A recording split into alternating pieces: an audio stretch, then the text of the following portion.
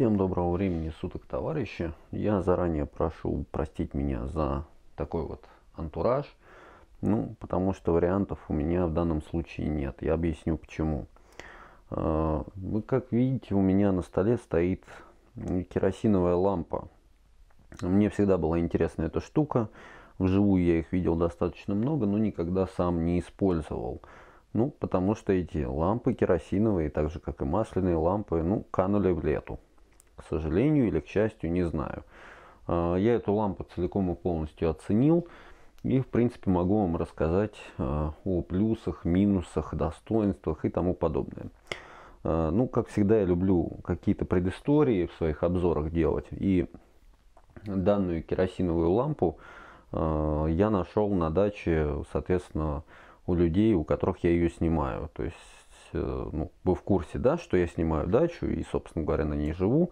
И вот на полке у них обнаружил вот такую керосиновую лампу. Сразу говорю, что это не какая-то там старая советская керосиновая лампа. Это лампа, я не знаю, современная, я не знаю, может быть ей лет 5-6, вот так вот где-то. А, в принципе, несложно определить. У нее здесь есть защелка, а, клапан вот такого типа, а не закрывающийся. То есть, ну, многие есть примет, по которым можно сказать, что лампа достаточно современная. А, единственное, что есть у нее и плюсы, и минусы. Она стояла вся в пыли, я ее кое-как протер, отмыл, плафон помыл, ну так вот, как-то так. И, естественно, эта лампа никогда не использовалась, потому что фитиль у нее был абсолютно ровный, белый, чистый, все хорошо было, то есть лампу, видимо, никогда не использовали. Ну, я загорелся, думаю, что она стоит. Хочу попробовать вообще, как эта штука себя поведет в деле и вообще э, имеет ли она какой-то смысл э, жизни в современном, так скажем, в нашем 21 веке. На самом деле все очень просто. Я могу сразу ответить, что нет. К сожалению, нет. Но давайте по порядку. Э, что из нас, что у нас представляет собой керосиновая лампа? Вот она почему-то называется летучая мышь, не знаю, может из-за формы какой-то там. Ну, это не суть. Я думаю, что вы можете в интернете про это почитать. И про типы керосиновых ламп. Есть лампы более современные с использованием э, сетки накаливания. Ну, по-моему, они-то такие же дорогие, как и лампы, которые работают не на керосине, а, например, на бензине. Э, а эта лампа, она дешевая. Такие лампы продаются в среднем от 300 рублей, если это небольшая китайская там лампа. И, соответственно, до полторы тысячи рублей, если это какая-то крутая навороченная лампа и тому подобное, не знаю. Ну вот цена вот такой лампы, я посмотрел в интернете, она стоит около 700 рублей. Не помню, сколько она высоту, ну так, я не знаю, может, о, нет, топорик есть, Фискарс 11, ну, я не знаю, сантиметров 30, наверное, она может даже побольше высоту.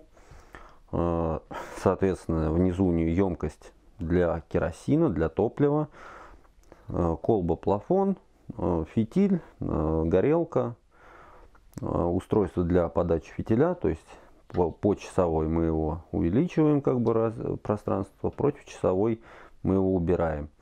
И, соответственно, рычаг для поднятия самого плафона. Кстати, рычаг очень тугой. Здесь, видимо, стоит какая-то пружина. А, и она достаточно такая тугая. И здесь, вот я не знаю, как это называется. Может, выхлоп какой, может, еще что. Лампу можно подвешивать вот за этот крючочек. Или, соответственно, просто брать вот за эту часть. А, разбирается она несложно. То есть, на самом деле, все просто здесь поднимается вот эта часть уже непосредственно руками. Вот, то есть она вытаскивается, но очень туго. И опускается плафон и вытаскивается. На самом деле вытаскивается он очень туго. Ну, что-то, видимо, конструкторы тут не дорассчитали.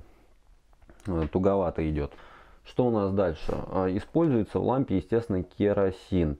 Но, к сожалению, как я обнаружил, я, наверное, по своей уже старости или, не знаю, не чувствовал запах керосина, наверное, уже лет 15-20. И э, когда я вот при, приобрел вот этот вот флакончик э, с керосином в ближайшем магазине здесь по продаже всякой всячины, там мелочевки тех, в плане там техническое там и прочее, ну хостовары, короче. И вот там приобрел вот этот пузырек, тут пол-литра где-то. И он, собака, стоил аж 75 рублей. То есть топливо вообще получается невыгодно покупать вот в таких вот бутылочках. Я сюда залил половину примерно, то есть ну тут сколько, 250 грамм может быть. А, не стал я полную заливать, да и в принципе, почитав инструкцию к этой лампе, там не рекомендуется заливать больше, чем 0,4 литра, да, то есть 400 миллилитров. А в целом, как бы, ну, попробовать я попробовал ее, естественно. А почему я рассказываю об этом, как всегда, в ночи? Все очень просто. Керосин собака очень воняет. И даже а, когда я его налил в лампу, он все равно, то есть испарение это идет, и все это дело, естественно, тут в комнате. Ну, в общем, у меня тут и животные, и дети, и жена.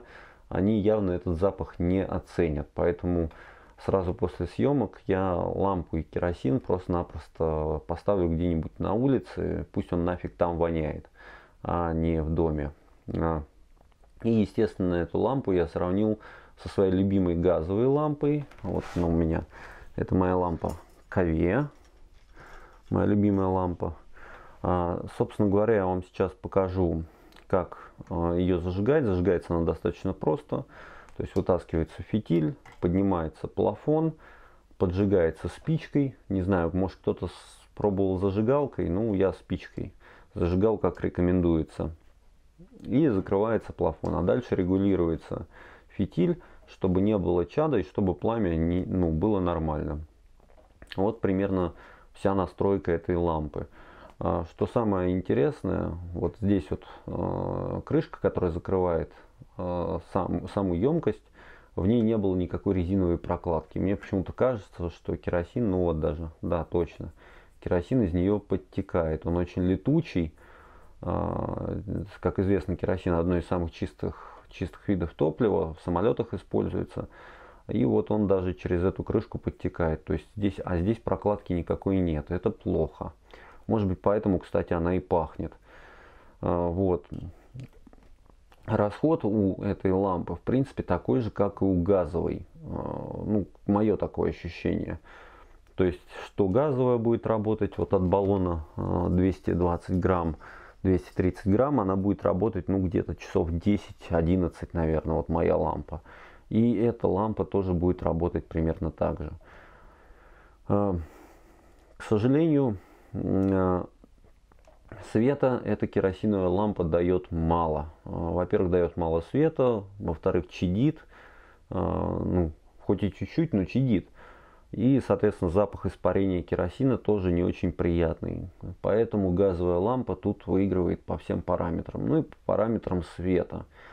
А, собственно говоря, давайте зажжем эту лампу, я ее вынесу на улицу, пока там темно, я ее зажгу и мы посмотрим, как же оно работает. Ну, берем стандартно спички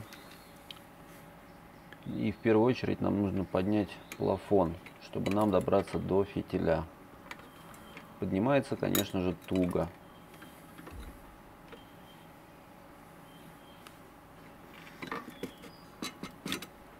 подняли.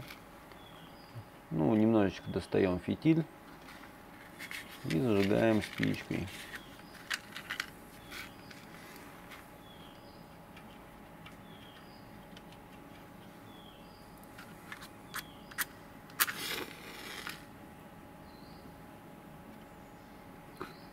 А дальше мы должны достаточно быстро закрыть плафон, чтобы не чадило, и отрегулировать уровень огня чтобы не было чада. Чадит, кстати, она достаточно сильно, поэтому плафон быстро загрязняется. Ну а дальше переходим к тесту.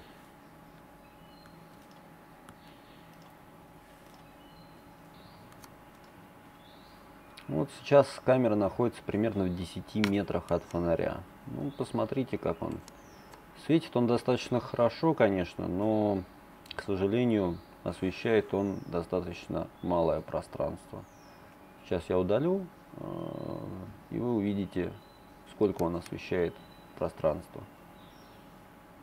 Ну, видите, практически ничего вокруг него не видно. Вот примерно так.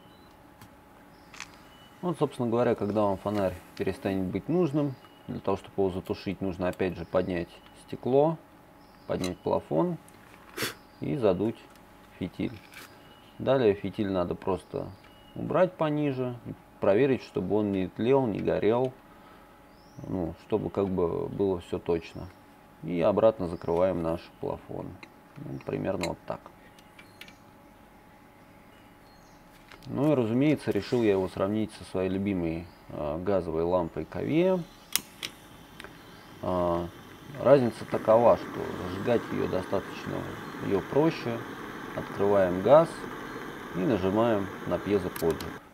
Моментально разгорается, проблем никаких вообще нет. Ну вот, собственно, также лампа находится в 10 метрах от камеры. Светит она, как видите, значительно ярче. А, ну и сейчас я сделаю удаление полное, и вы увидите, как она освещает все вокруг. То есть, видите, видно деревья, здания, то есть очень хорошо освещает, гораздо лучше, чем а, керосиновая лампа. Ну и потушить фонарь также просто. Нам достаточно просто отключить подачу газа. Минусом газовой лампы является разве что только то, что во время работы она шумит. Все. Единственным плюсом, наверное, все-таки э, керосиновой лампы, я могу сказать то, что керосиновая лампа, так как работает на топливе, нефтепродукте, да, она все-таки в холодное время года будет эффективнее, чем газовая лампа. А, то есть при температуре там минус 10, минус 15 градусов на улице или в помещении керосиновая лампа будет работать хорошо. Газовая лампа, естественно, будет э, работать хуже, потому что газ замерзает, и для газовой лампы это плохо. Вот примерно такие мои ощущения. На самом деле я считаю, что если вы хотите приобрести керосиновую лампу, то она скорее вам ну, для антуража или, так скажем, для истории. Вот как мне. То есть я сначала хотел прикупить ее, но э, сейчас, честно говоря, в покупке не вижу никакой, никакого смысла. Топливо покупать достаточно дорого, да и все это воняет, пахнет. Э, руки мыть постоянно приходится, ну и так далее и тому подобное. Но в целом штука прикольная. Я уже давно заражен такой темой, как стимпанк. Э, Ну, может быть, в курсе, не в курсе. Кто не в курсе, посмотрите клип э, Эбней Парк, Steampunk Revolution, и, может быть, вам что-то там станет понятно. Там как раз стимпанковские вещи показывают так под музыку, очень прикольно. Э, до сих пор помню эту песню, она у меня периодически в голове играет. Вот. Ну, в принципе, на этом все. Кому понравилось, кому интересны керосиновые лампы, я думаю, приобретайте, будете достаточно довольны, дают они ну, такой не очень сильный, но при этом приятный желтоватый свет. Ну а в целом, не знаю, по мне так газовые лампы намного лучше. Ну на этом все, всем спасибо, всем пока.